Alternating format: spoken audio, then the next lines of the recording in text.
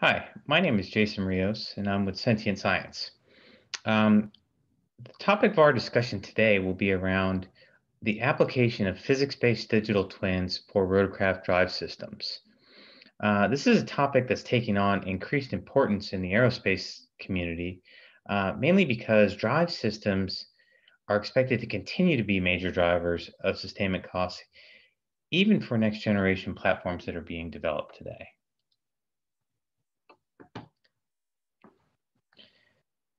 So fundamentally, we take a first principles approach to being able to predict the life of mechanical systems. And the reason for that is plain and simple because components break when their materials fail.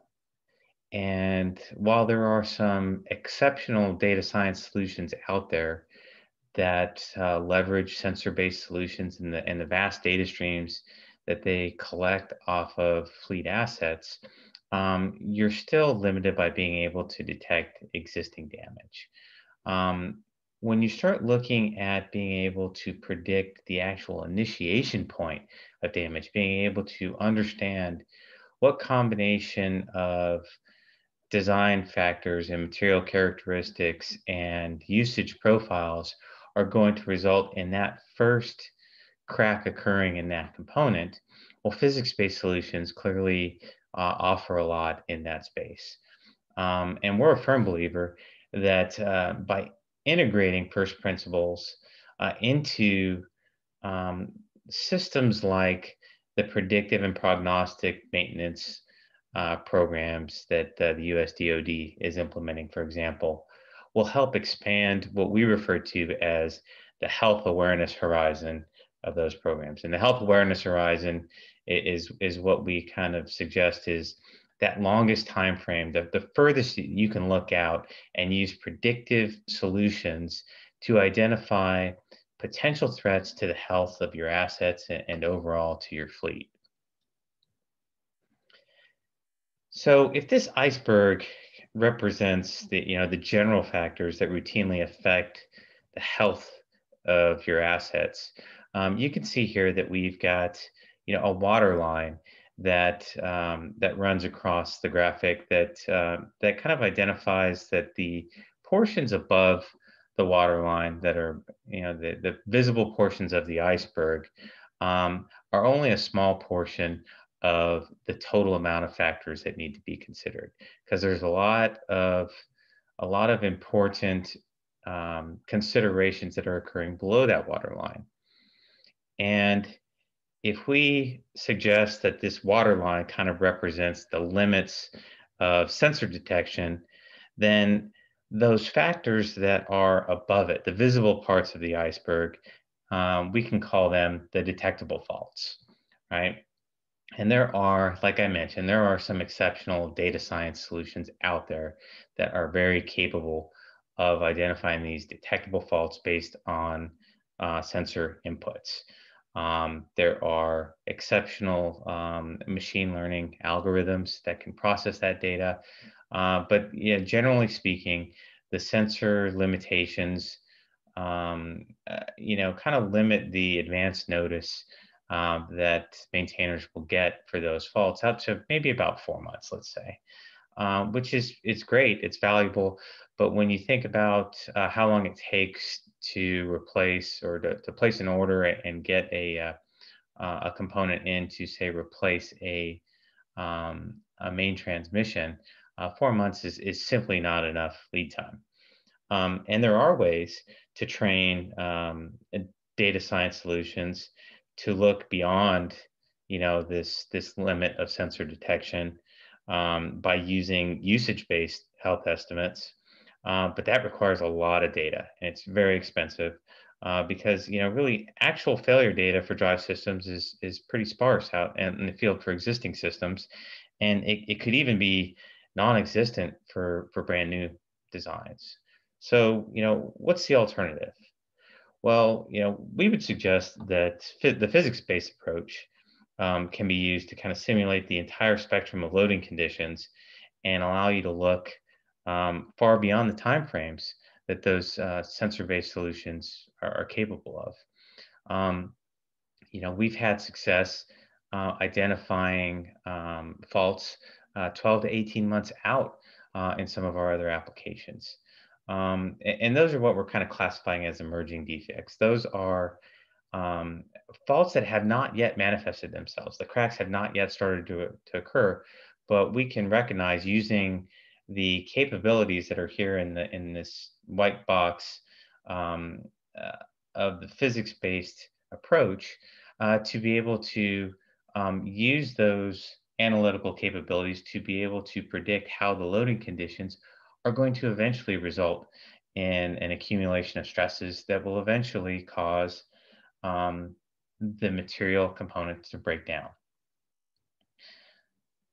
So, but if we want to look a little deeper than that, you know, kind of look beyond just the when of when um, a fault might occur, um, we, we, want to start looking at, at the how, right? What are the failure modes that we can expect our asset to start to experience based on certain loading conditions or design characteristics, et cetera? Um, and, and how do we expect those to manifest themselves? And then if we want to even go a level deeper than that, we want to get to the point that we can understand why will that start occurring? What's the underlying root cause? Is it a design issue? Is it the way the components are being manufactured? Is it um, that the tolerances are not uh, tight enough in certain, you know, manufacturing uh, uh, processes? you know what is it is it how the is it how the asset is being used you know in the case of, a, of an aircraft is the aircraft typically being flown uh, beyond the the uh, operational loads that were expected by the OEM when they designed the aircraft and set the life expectancies for those components. So an effective physics-based solution can really unlock a vast collection of additional insights that really allow you to explore the entire design space uh, for your drive system components. And you can use that to be able to predict future outcomes. So for example, if you want to, to look at an existing or fielded asset with a certain transmission design, um, is it worthwhile to consider changing the lubricant that's being used um, in that uh, transmission? Um, is it um, cost effective to consider maybe replacing some of those critical gears with different gears made of different base materials or applying super finish to those critical gears in order to change the surface roughness profile. All of those things can have potentially significant life impacts on that design.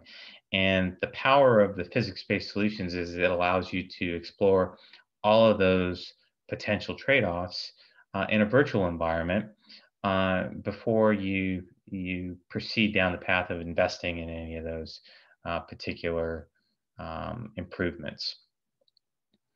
Um, this also uh, actually enables significant opportunities when you're looking at, uh, for example, um, uh, new design programs to see cost, schedule, and reliability improvements. And those are the things that the aerospace community has long used to justify investment in digitalization. So our digital clone solution represents Sentient's effort to democratize this technology and make it available to the entire aerospace community and to try to achieve those um, long sought after benefits that were the whole um, genesis for this community's support of the digital twin concepts.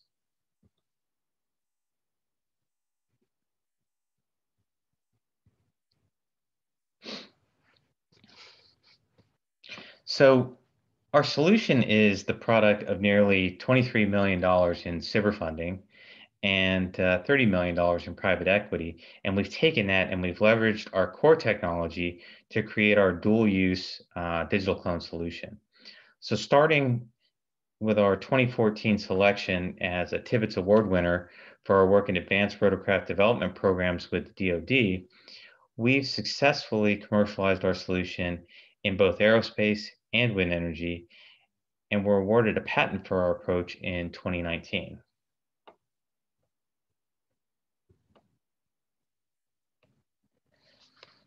So at a high level, what Digital Clone does is it enables our users to reproduce the type of detailed analysis that our scientists have been doing for years as part of our engineering services efforts with uh, a variety of government agencies and also with some private partners, um, and package it in an easy to use software solution that enables things like system level modeling, um, the type of bearing dynamic analysis that rivals the capabilities um, that are of, of, the tools that are being used by the bearing manufacturers themselves, uh, detailed gear stress analysis, and really what makes the whole solution really special is our proprietary component life prediction capability. So once we have all this stuff modeled, we have the capability of simulating the operational loads that um, are being applied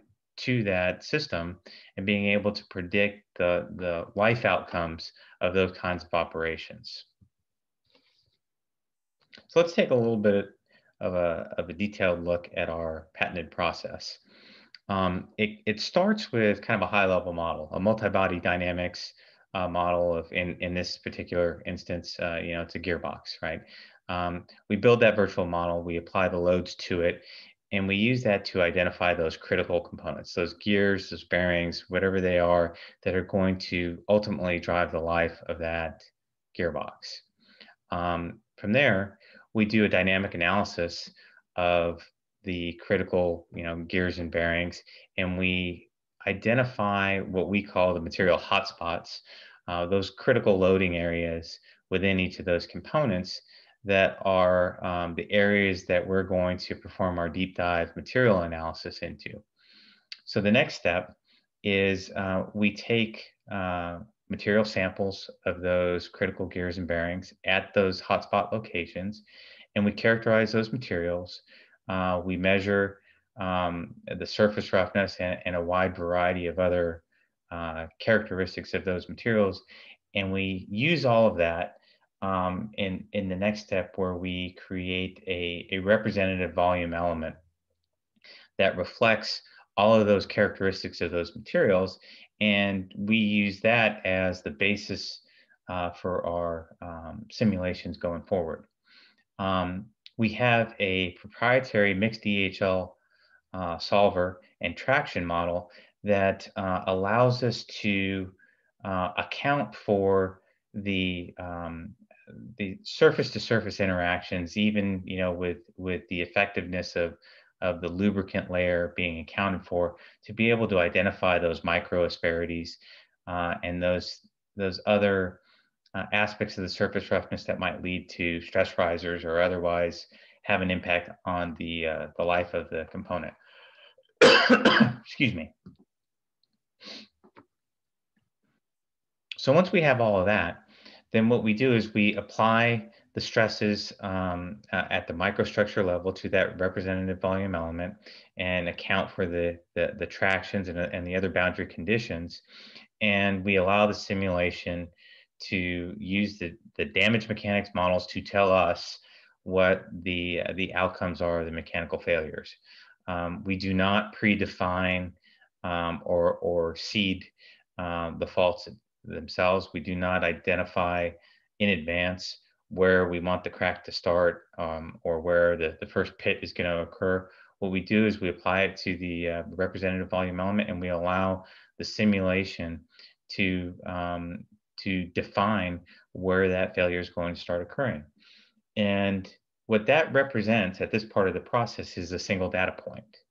And think of it um, as you would a, uh, a single um, a single run to failure on a fatigue life test, right? And that that in and of itself is is valuable, but that does not necessarily help you draw conclusions about what an entire population might look like. Um, so to be able to account for all of that randomness, both in the materials and the uncertainty related to the combination of materials and loading conditions, et cetera, um, the solution allows you to rerun the simulation multiple times.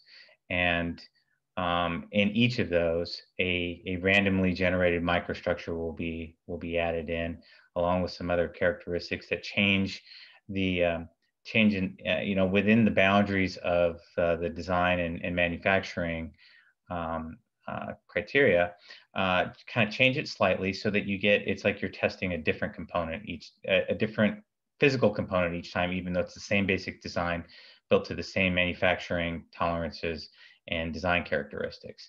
And what you end up with is a the ability to create a virtual population of failures um, that are similar to running, you know, 30 physical tests, or you know, uh, you know, sometimes we have customers that want to do 100 or 200 uh, because they want more data. Uh, but what it does is it allows you to computationally create those data points in a very representative environment in a way that's a lot more cost effective and a lot more um, more schedule friendly um, than it would be if you were going to uh, to try to run a bunch of physical components to failure.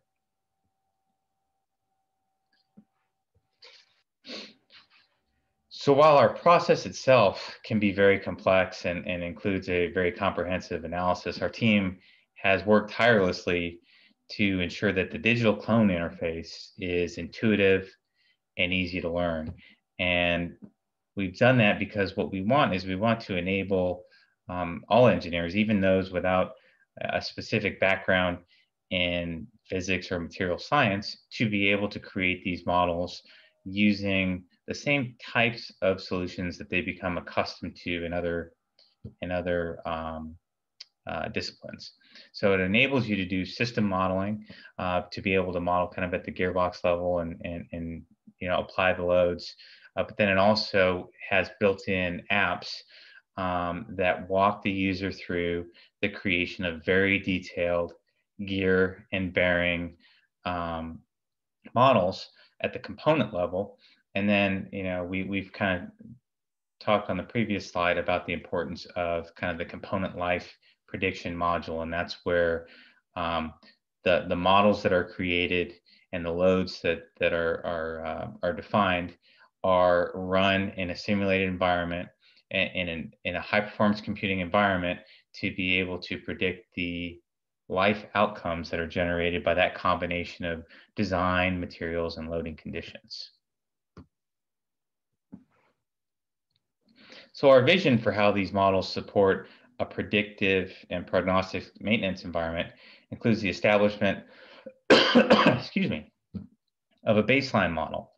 Uh, and that baseline model reflects the, the aircraft drive system design, the fundamental design that we would expect all aircraft in the fleet of that same type to be, to be uh, built against.